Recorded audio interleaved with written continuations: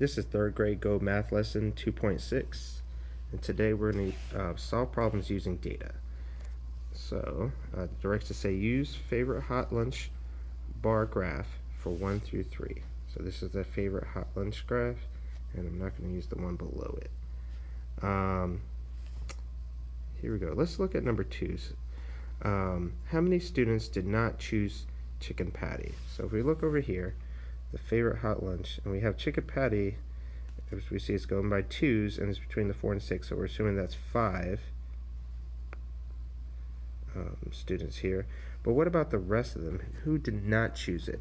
So I see I have eight for hot dogs, between 10 and 12 for pizza, so it should be 11, and I have two for grilled cheese. Um, so I need to find out how many are not chicken patties. So we have to add up all the ones that are not chicken patties. So I know 8 and 2 makes 10. And then I also have 11 for pizza. So if I add plus 11 more, that would be 21. So 21 students did not choose chicken patty. All right, panning out. Um, how many more oh, or actually let's look at the directions. Use the ways to get to school bar graph four through seven for four through seven. So this is the ways to get to school, the number of students who chose those different ways, and the different types of transportation they chose to use. So how many more students walk than ride in a car to get to school? So we need to find out how many students walked. Again, it's going by twos, and so I'm assuming this is seven. And uh, walk, then ride the car.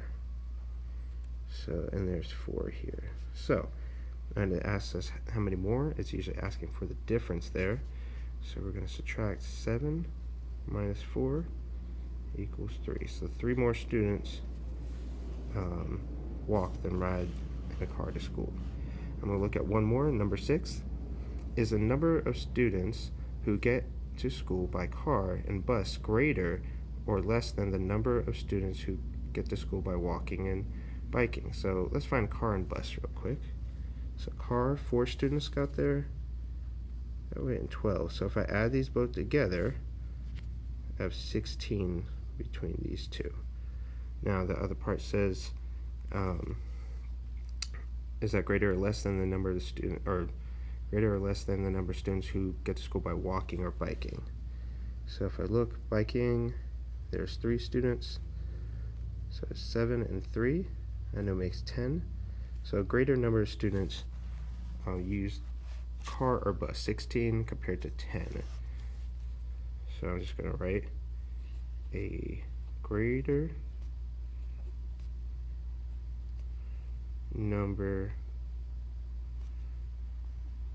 of students I'll just write in parentheses um, 16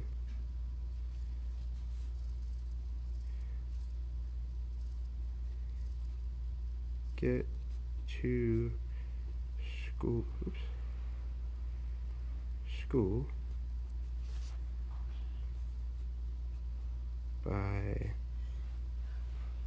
car and bus And that is how we solve problems using data.